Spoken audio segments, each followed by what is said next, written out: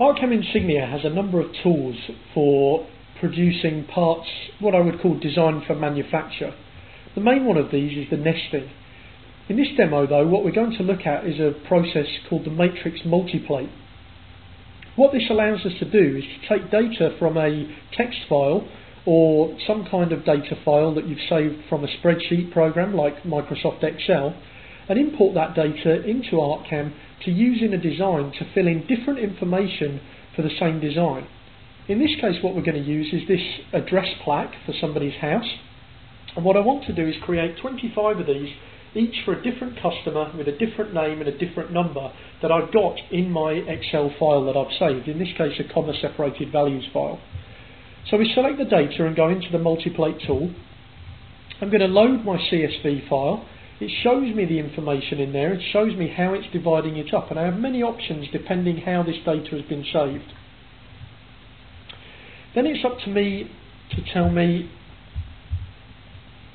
where I would like the file to be placed, how much distance I would like between each of the plates, and it's also showing me how many plates it's going to create based on that data.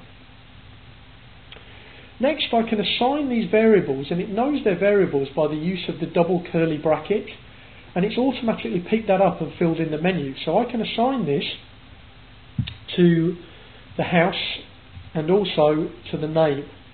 And then I can look at any of the individual plates and see that data in there.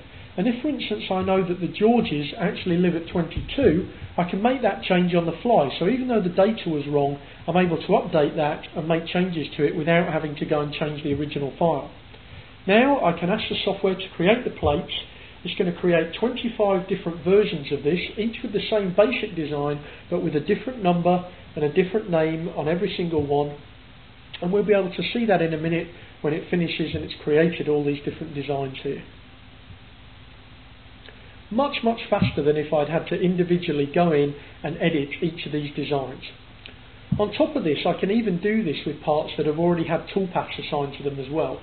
In this case, we're just doing it with the design, but I could have assigned toolpaths to the different areas of the design here.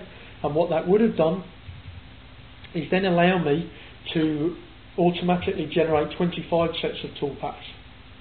You can see that every single design has picked up the name and it's fitted it in there based on how we describe the text. Very, very powerful and very useful tool.